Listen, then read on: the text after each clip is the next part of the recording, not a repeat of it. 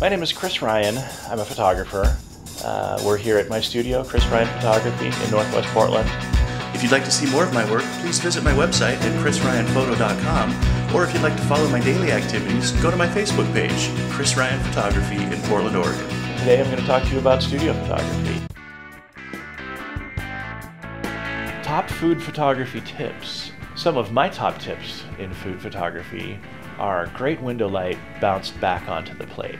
Find a window that has some ideally diffused light.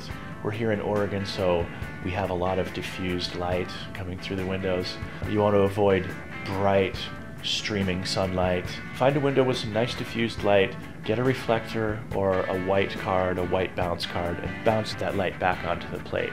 Another tip is uh, you can use artificial light if you're in uh, a restaurant that is dark. Place a light behind the plate and then bounce the light back. So the artificial light fires through the plate, which gives it sort of an edge, gives it some highlights as that light passes over it, but then you bounce it back on to the front of the plate, which exposes the whole plate.